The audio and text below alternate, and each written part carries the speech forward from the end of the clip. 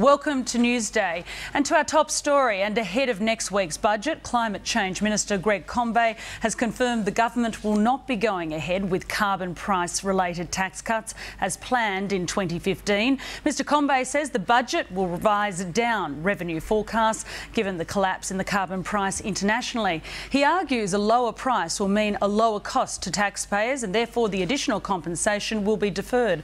Let's go to Canberra now where Sky News political reporter Tom Connell joins me. And Tom, the tax-free threshold is the latest victim of budget cuts. Yes, Selena, this threshold was lifted already by Labor from $6,000 to $18,200, so a big increase, but it was scheduled in 2015 to be lifted again up to $19,400. But that's now not going to happen. Greg Combet stressing today it has been deferred, not shelved. He says this is because of a much lower than anticipated carbon price in Europe. That, of course, is the scheme Australia will link to in 2015. Uh, they don't have an actual number for what they're going to revise Australia's estimated price to be at that time, or the European price.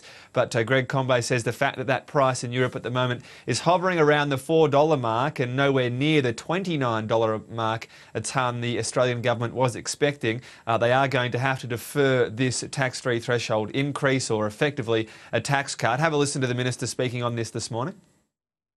Now, because uh, there will be no additional anticipated increase in costs to households in 2015-16 with a lower carbon price forecast.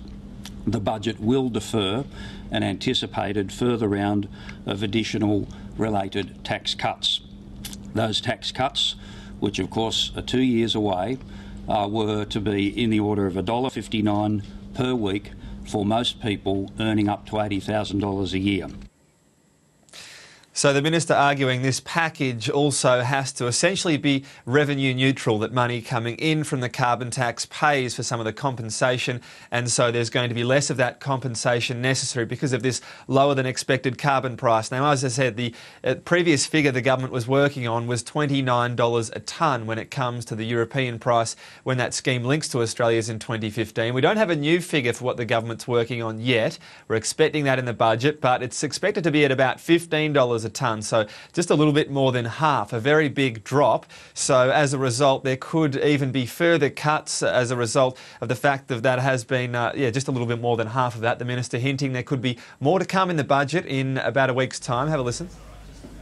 There'll be offsetting savings, as I say, for the uh, uh, the changes that we will announce in the budget, the changes to the uh, forecasts that will be announced in the budget.